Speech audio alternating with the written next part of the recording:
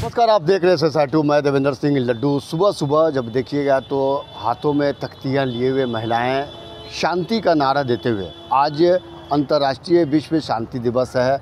जब देखा जाता है तो देश में अराजकता, तमाम तरह की जो तनाव स्थिति रहती है, उसको कम करने का आज एक शांति मार्च निकाली जा रही है। पटना सिटी मसलामी स्थित ओपी शाह के प्रांगण से। और ये शांति मार्च जो है, वो से अशोक राजपथ से होता हुआ, तमाम स्थानों से होता हुआ, फिर अंततः पटना साहिब रेलवे स्टेशन से पंचित अखाड़ा के पास समापन होगा। कहने का मतलब है क्या कि आज भी लोग एक दूसरे से हीन भावना है और तनाव की स्थिति रहती है। ऐसे में एक अनूठी पहल है पटना सिटी में खास करके देखिएगा और महिलाओं में एक उत्साहित है और लोगों का एक संदेश देने का प्रयास कर रहे हैं। क्या कुछ कर रहे हैं विश्व शांति दिवस के जो करता धरता है हम सीधे चलते हैं उनके पास।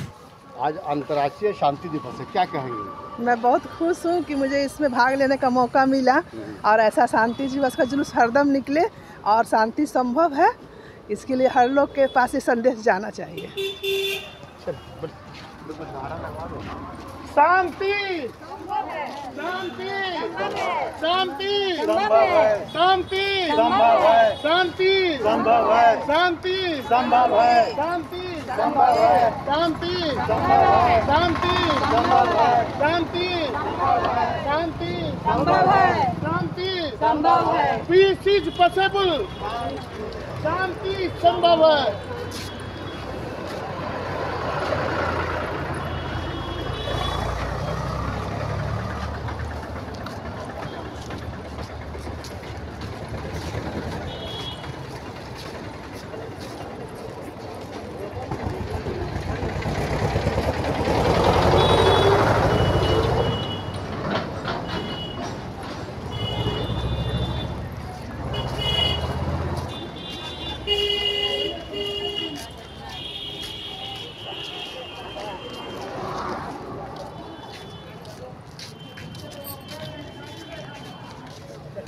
आज विश्व शांति दिवस है और विश्व शांति दिवस पे हम लोग हर साल एक संदेश यात्रा निकालते हैं, जिसमें हम लोग चाहते हैं कि हिंदू, मुस्लिम, सिख, ईसाई आपस में सब मिल कर रहें और विश्व शांति दिवस पे शांति वक्ता श्री प्रेम रावत जी के संदेशों को जन जन पहुँचाने का कार्य करते हैं।